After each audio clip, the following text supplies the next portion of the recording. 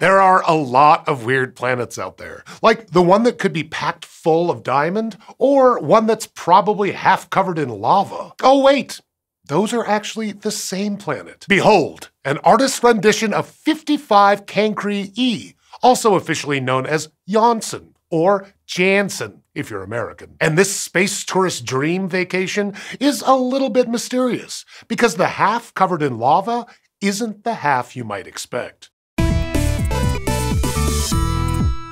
Janssen is located about 41 light years away from Earth, orbiting a star called Copernicus, aka 55 Cancri A. But that orbit is super tight. Janssen's year is less than 18 hours long, which makes it very very hot. Temperatures on one half of the planet reach at least 2,500 degrees Celsius and might be as high as 3,500 degrees. That's over seven times hotter than Venus, and it's hot enough for the rocky surface to melt into an ocean of lava. Meanwhile, on the opposite side, it's around a brisk 1100 degrees Celsius. Technically hot enough to melt copper, but cool enough for much of the surface to stay solid. Now, a two-faced planet with an ocean of liquid rock might sound weird on its own, but there's more. You might expect the side that's covered in lava to be the side that's directly facing the star. But Janssen's hotter half is a little off-center, and scientists don't know why. One possible explanation is that Janssen has a thick atmosphere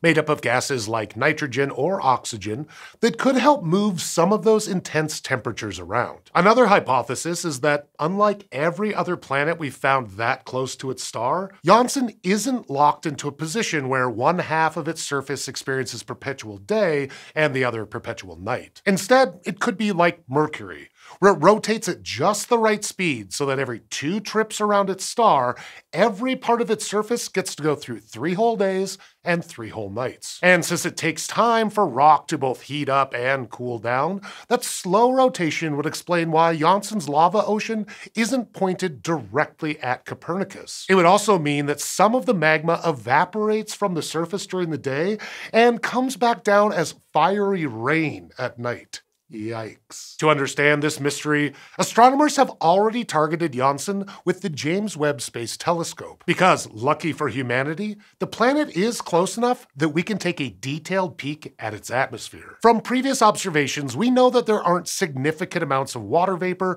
carbon monoxide, or carbon dioxide. And if the Webb reveals signs of nitrogen or oxygen, that would point to a thick atmosphere causing Janssen's heat shift. But if we see a super thin atmosphere of vapor minerals instead, then we can be pretty sure the lava rain scenario is right. Based on some early results, lava rain might be the winner. And along with giving us that terrifying visual, the Webb may also tell us what's going on below Janssen's atmosphere. Remember those diamonds earlier? Astronomers have debated whether or not this world is carbon rich. A closer look from the Webb may provide more evidence that there really is a bunch of diamond deep beneath the surface. Either way, Janssen is shaping up to be a pretty cool target for future space tourists. Well, not cool cool, you know what I mean. This episode is brought to you by our very cool supporters on Patreon. They may not be half covered in lava, but we wouldn't get to talk about awesome exoplanets without them. And if you're watching this video and thinking to yourself, self, I want to be that cool, you can head over to patreon.com slash scishow to check out how to support the channel and all the perks we've got waiting for you. Thanks for watching.